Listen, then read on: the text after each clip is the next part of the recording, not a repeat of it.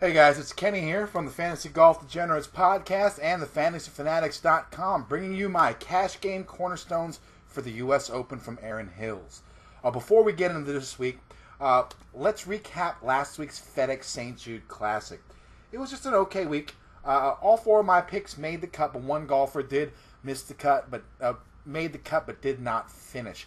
Uh, my picks last week were Francesco Molinari, who finished in 24th place with a score of four under. Uh, Phil Mickelson, who shot 7 under and finished in ninth. Ian Poulter, who finished in 31st at 3 under.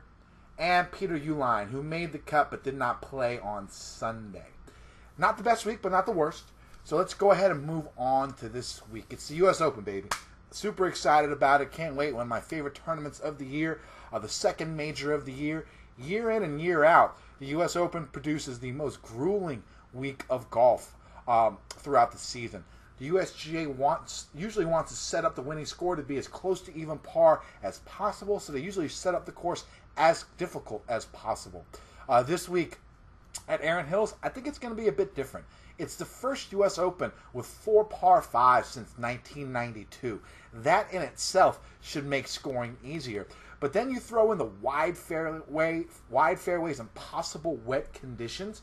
Um, I think the winning score will be between 8 under and 10 under. I'm just guessing, but that, that is my guess. Uh, there are no trees on the course, so heavy winds could knock that score down a bit, but there doesn't seem to be strong winds in the forecast.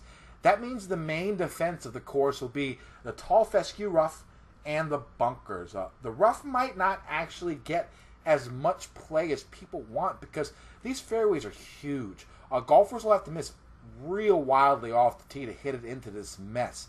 And with the heavy rains on Monday, the USGA has actually cut down the fescue on a couple of holes, which will again make the course easier. Uh, the bunkers are going to be where the real trouble is at, especially the greenside bunkers. Uh, the architects of this course have given the name uh, to these greenside bunkers. They've been calling them erosion bunkers. These irregularly shaped bunkers are deep and could be as little as a foot wide at some points. Now, if the golfers hit it in these, um, you know, really narrow areas in these uh, greenside bunkers, they're going to have they're going to struggle to get the ball uh, out of them. Um, if you'd like a more detailed course description, check out my article on the Moosonomics portion of rotocurve.com.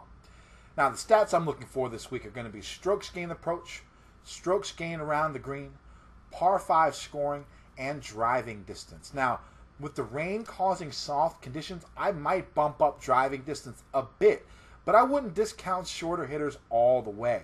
As long as they play par 5s well and are good with their long irons, shorter hitters have a chance.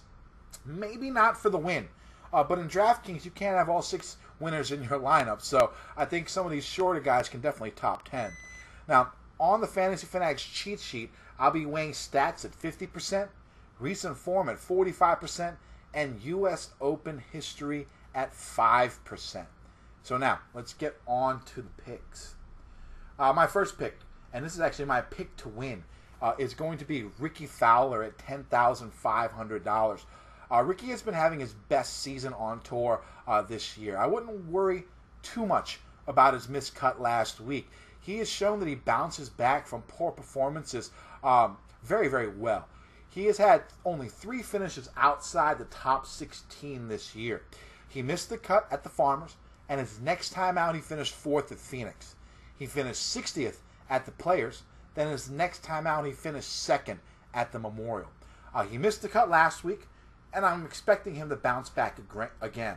Uh, he's great with his irons. He's great around the greens. He's long enough for the course, even if even if it plays soft and wet.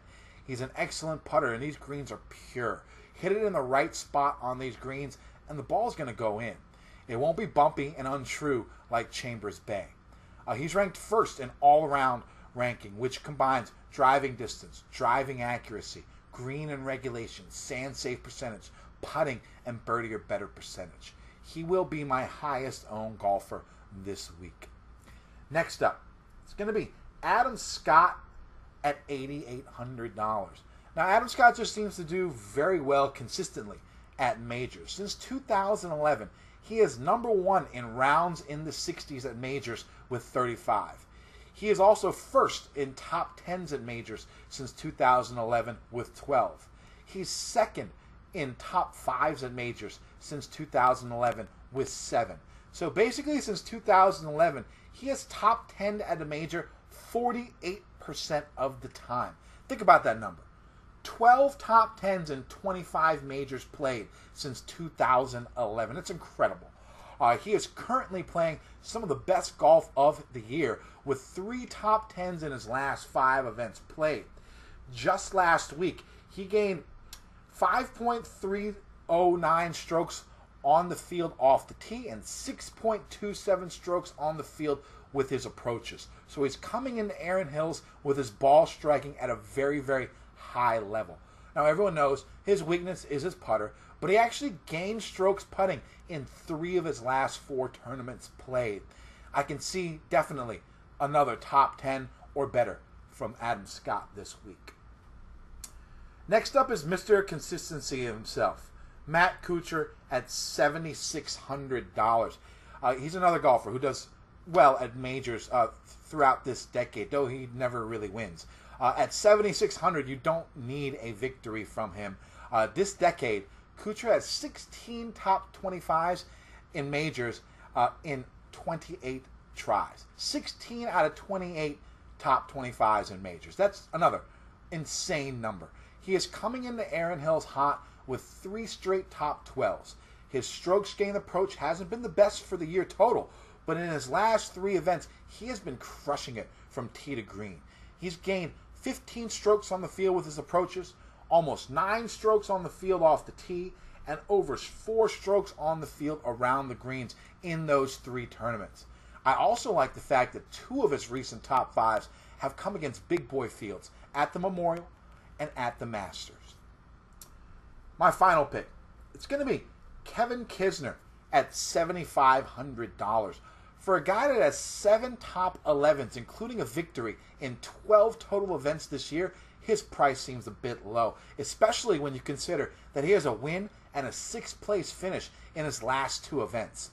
Now, his lack of length off the tee could make you believe that he might struggle this week, but he is ranked inside the top 50 in all proximity stats from 175 yards and up, and he's ninth in strokes gained approach for the year. He's good around the greens, plays par fives really well, especially for a shorter hitter, makes birdies, is a solid putter. He's had success at the U.S. Open at Chambers Bay, and if you remember, technically, Chambers Bay is a longer golf course than Erin Hills with only two par fives. All right, so let's recap my cash game cornerstones for the U.S. Open. They're going to be Rickie Fowler at 10,500, Adam Scott at 8,800, Matt Kuchar at 7,600, and Kevin Kisner at 7,500. Uh, this leaves you $15,600 left, so there's plenty of cap space for you to use to fill out the rest of your lineup. All right, guys, make sure you check out all the tools that thefantasyfanatics.com has to offer. Good luck this week. Let's win some money, and I'll see you next week.